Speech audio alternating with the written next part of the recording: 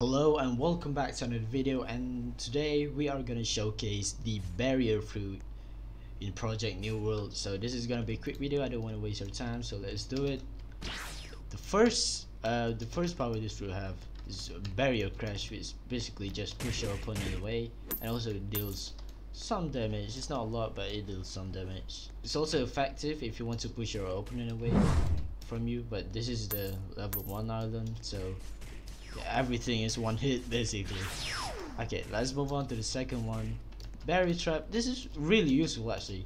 If you're on low HP or anything and you don't want to take damage from someone just put a Barrier trap and it will just trap uh, trap your enemy in there. And it also deals some damage but I don't know. Um, I don't think this fruit does a lot of damage but it's pretty useful to be honest. And I'm gonna do it again just with different people.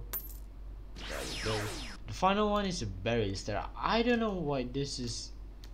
I don't know. It's just a little weird. You can just jump, to be honest. So I don't know why this is here, but I mean it's here, so I don't know. So yeah, that is the end of the video. Uh, I, like I said, this will be a quick showcase video. So yeah, that is the end. Hope you guys enjoyed this one. Uh, if you want to see more showcase, make sure to check out my channel. I'll be sure to make more of this.